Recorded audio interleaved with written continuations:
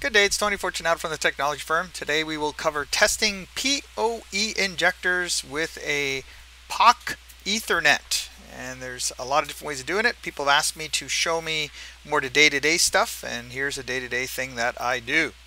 Let's jump right into it. So I can't tell you how many times I'm on site or even in my office, need to sift through boxes of equipment for an install or troubleshooting and my thoughts as I go through all this stuff is, does the equipment actually work or is it questionable and tossed into this box of stuff? So in this scenario, I need to find a Ubiquiti PoE injector for a 2.4 gigahertz radio. So here's what I did for my testing. I found a couple of injectors and I want to test them out before I install them because it could be on a roof, a pole, wherever, right? And you want to make sure it works properly. So I used my Pockethernet to test the voltages and network connectivity. So it's pretty simple. The uh, green part is in the PoE RJ45 that goes to the actual Pockethernet device, the testing device, and the pink cable labeled LAN goes to my network. So I can test the PoE portion and obviously it can get my network and all that kind of stuff. The Pockethernet was configured to get an IP address via DHCP and it's going to ping three different IP addresses that I configured within the unit. So this is what the app looks like. So the Pockethernet connects to my Android phone via Bluetooth, so that means it doesn't physically uh, have to be near me. It can be behind a cabinet, up on a you know raised ceiling, whatever. As long as I'm in with the Bluetooth range, I'm good to go. And then I can select or deselect tests by pressing the circular icon. So in this case, I want to test link, CDP, DHCP, ping, and of course PoE, it's part of Link. And then you know it's testing when the measure box down here, the measure box turns into measuring, and then you know it's doing something.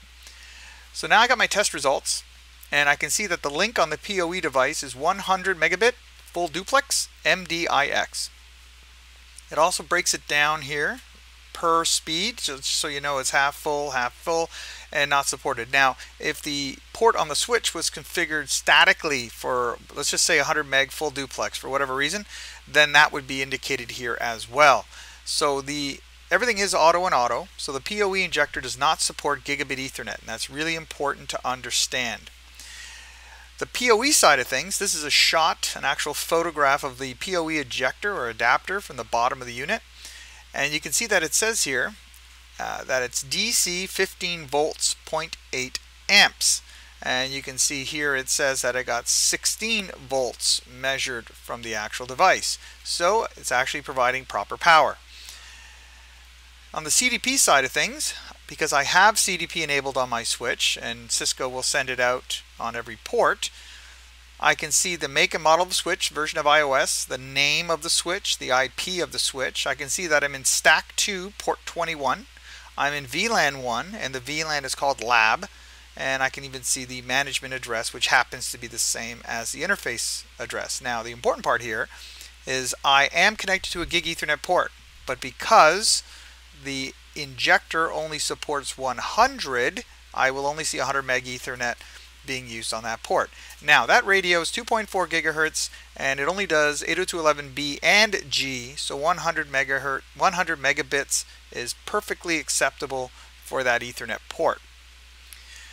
DHCP, I can see the IP assigned to that device because it's DHCP assigned and that will change depending on the scope and obviously what VLAN you're on. In this case, I can see the gateway IP, the DNS server IPs, my IP, my MAC address, and so on and so on. On the ping side of things, it will ping each one of these three times and average the results. Uh, just be careful if you um, play a little bit with um, port fast. Uh, those types of commands, it may actually impact the first test, right? It may actually impact your DHCP as well, so just be a little bit aware of that. Uh, just a little side note, the uh, Pockethernet uh, forum, the support forum, is awesome. I was stuck on something, and before I even tried to email the guys at Pockethernet, I went to the forum out of curiosity, and there was the answer that somebody had posted already. Last thing I could do is take all the results, create a PDF report, and email them to myself. So then I'll have an actual record of what I did. So hope that helps. Have a good day. Bye for now.